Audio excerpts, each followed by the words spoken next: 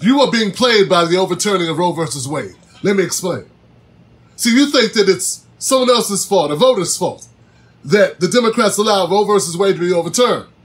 You think it's someone in your family's fault. Even if they are Republican, you think it's their fault. Let's make something very clear here, Johnson. Those Republicans that believe that abortion should be illegal, they've always felt that way. There's nothing new about that. That's a point of position that they've had. It's the Democrats who said that they supported a right to choose, and it was their job to get this ratified. The Democrats had 50 years.